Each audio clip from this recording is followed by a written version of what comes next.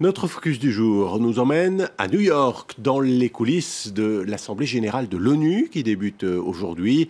Vous en doutez, il se passe autant de choses dans les couloirs et derrière les portes fermées que lors des discours à la tribune.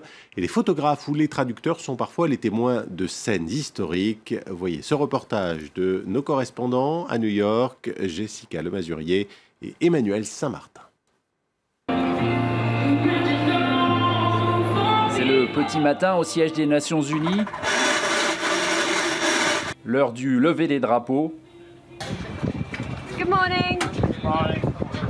Comme tous les ans, le quartier est sous haute surveillance, un déploiement de milliers de policiers et gardes du corps pour protéger les quelques 150 chefs d'État et de gouvernement qui ont fait le voyage. Et cette année, l'Assemblée générale a commencé en grande pompe avec la visite du pape François, accueilli en chanson par Shakira. La chanteuse est aussi ambassadrice de bonne volonté de l'UNICEF. Il va sortir par là, non? Eskinder est de ceux qui œuvrent dans les coulisses de l'ONU. Il est photographe officiel. Regarde ce sourire sur son visage, il a l'air tellement heureux de voir les enfants. Après le discours du souverain pontife, il s'apprête à prendre la photo du départ.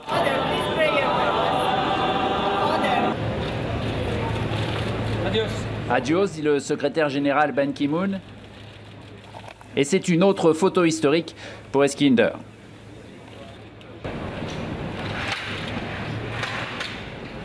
Il a photographié tous les grands de ce monde depuis 20 ans dans les couloirs des Nations Unies ou depuis cette cabine avec vue sur l'Assemblée générale. Et il a accumulé les souvenirs, comme ce jour où Fidel Castro monta à la tribune où sont installées des lumières censées indiquer la fin de leur temps de parole au président. Lorsque Castro est venu parler, il a pris son mouchoir et en a couvert les spots. Il a parlé un peu moins de 4 minutes. Ensuite, il a ramassé son mouchoir et il l'a agité face au public avant de sortir. J'ai trouvé ça super. Mais cette photo ne fut jamais utilisée par les Nations Unies, trop peu politiquement correcte sans doute. Le politiquement correct, ce sont des considérations dont un autre travailleur de l'ombre de l'ONU ne s'encombre pas. C'est un cadeau de la République islamique d'Iran. Pas besoin d'en dire plus.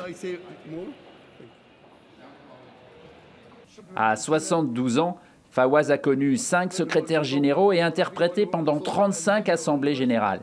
Il continue de travailler bien après l'âge de la retraite par amour de son métier. Mais pour ce Syrien d'origine, traduire ce qui se dit dans ce hall peut parfois être douloureux.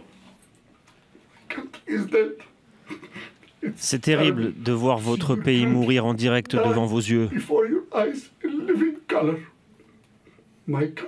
Mon pays est mort purement et simplement.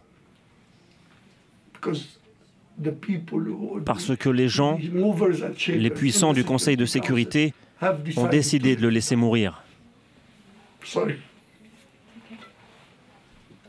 La Syrie, il en est justement question dans les très nombreuses réunions bilatérales qui ont lieu en marge de l'Assemblée générale. Plus de 1000 entretiens ont lieu littéralement dans les couloirs où on a installé des cloisons amovibles pour abriter quelques 40 salons provisoires. Laurent Fabius, le ministre français des Affaires étrangères, est en discussion avec son homologue des Émirats arabes. Au menu, le Yémen, la Syrie, mais surtout l'entretien des relations personnelles qui font la diplomatie. Si vous aimez le désert, ça va vous plaire. J'aime le désert, mais j'aime encore plus votre compagnie. C'est que la relation personnelle est très importante. Bon.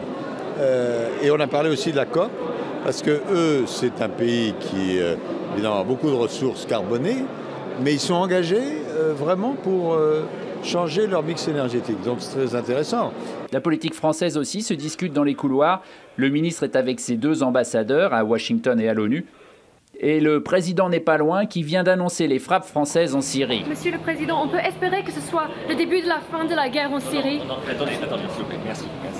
Le cortège est reparti vers une autre discussion de couloir, loin des caméras.